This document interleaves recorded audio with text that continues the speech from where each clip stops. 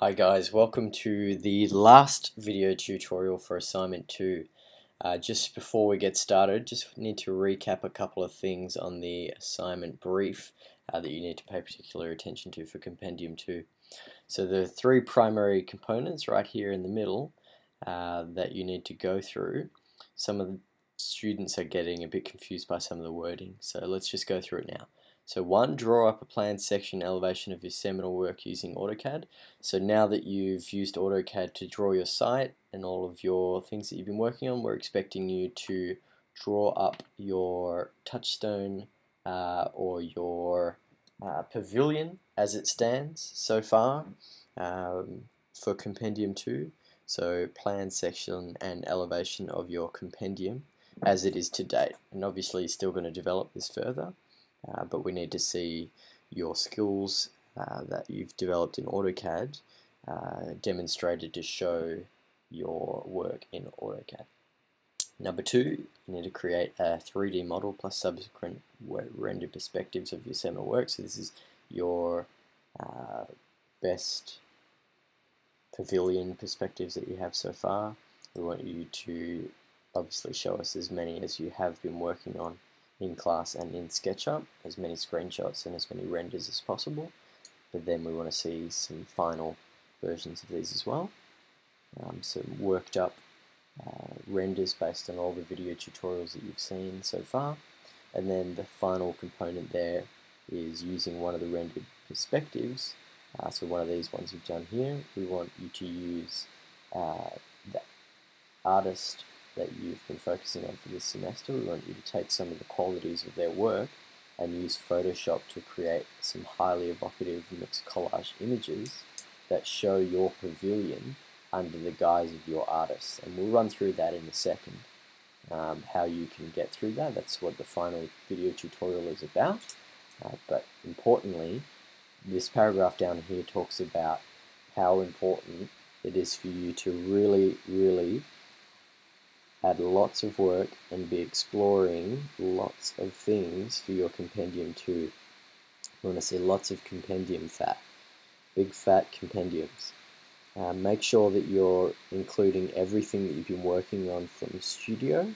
So there's no folio per se for Studio, you'll be doing a video. So everything that you're working on in Studio needs to go into your methods compendium. So all of your sketches, all of your drawings, all of your thinking, all of your further development, your artist research, everything you're working on Studio needs to also go in Compendium 2 along with these AutoCAD SketchUp and Photoshop collage uh, pieces of work. So we need to see all of it, all of it in Compendium 2 and you will also be expected to develop uh, your Compendium 1 based on feedback you got from that and uh, improvement is always necessary. So now let's get stuck into this rendered perspective using your artist as a base to create some additional uh, evocative drawings. Jump on over to Photoshop.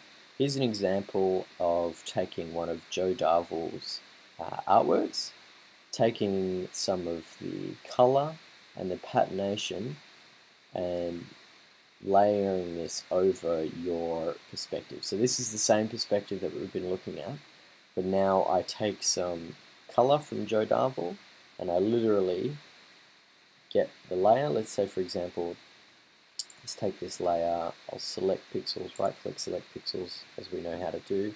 If I delete everything that's in there now, get up my paintbrush tool by pressing B, I hold down Alt and it brings up the little eyedropper tool click on Joe Darvall's color and it would change it to orange where I'm painting there and it uses that same identical orange that's been used for Joe Darvall. If I wanted to use that blue there, same again, click down on Alt, grab the blue and now I'm painting it on in that layer where I wanted to paint. And as you see here, there's lots of layers gone into making this drawing. Uh, so I'd encourage you to use this as one method to have a look at your artist and the way that they bring about their work into your perspective.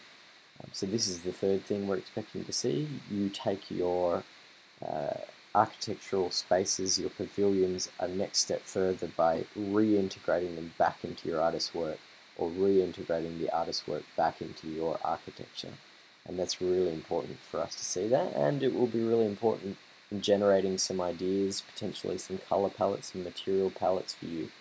Now, this one is specifically color because that's what this image seems to be most uh, prevalent with for Joe Darvall. Obviously, different Joe Darvall examples will conjure different images and different feelings. Um, and not all of you are with Joe Darvall, so let's have a look at uh, David Anderson.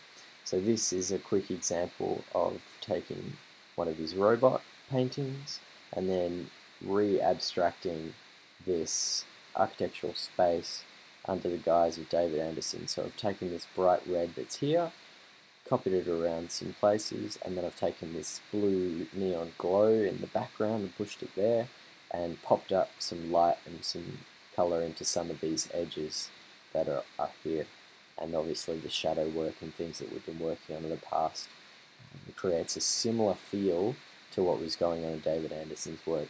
And a completely different feel to the architecture. That space versus that space, completely different. And this is why we really want to see you explore your artist again through your architecture. And we want to see lots of variations of this. So you should be doing at least 10 different versions of this. And whether that's 10 different versions of your artist's work, so 10 different works from David Anderson, I might have a look at and do one collage per work. Or I might look at two different works from David Anderson and collage it five times each and end up with five different ones. It doesn't matter as long as you have at least 10, and that's a minimum, uh, collages of this artist's work, just to really layer it back in. And hopefully it will help bring up some new ideas, either spatially or color palette or material palette or lighting or all these sorts of things from your artist into your architecture so that when we're moving forward with studio, we've got lots of new ideas going ahead. So that is the final tutorial uh, for assignment 2. Stay tuned, we will be resuming tutorials with InDesign, presentation, layouts, and putting together some awesome books and booklets, and they will be next. As always, ask as many questions as possible in class, and we'll try and make some video tutorials for you to help you out. Thanks guys.